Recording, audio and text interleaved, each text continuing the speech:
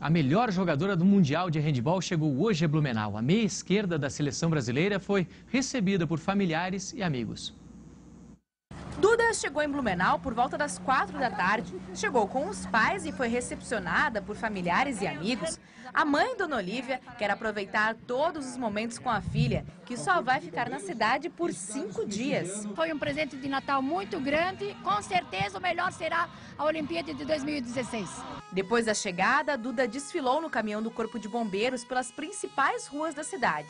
A comemoração é para o título de campeã mundial de handebol e por Duda ter sido considerada a melhor jogadora do campeonato. O nome de Duda entra para a história do esporte porque esta é a primeira vez que uma atleta brasileira é considerada a melhor jogadora no campeonato mundial de handebol. Receber esse título foi foi muito bom. Acho que o, o, título individual ele vem automaticamente, nem é tão significante quanto esse ouro aqui.